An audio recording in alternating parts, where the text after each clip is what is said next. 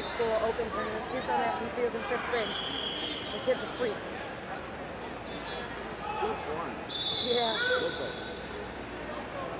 I think, I, well, his dad was the heavy set coach over here. That's part of why he's a freak as well. Thomas, please.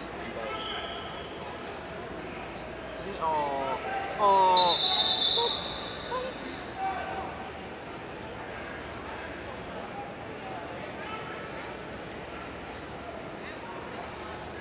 Probably because he had the, like,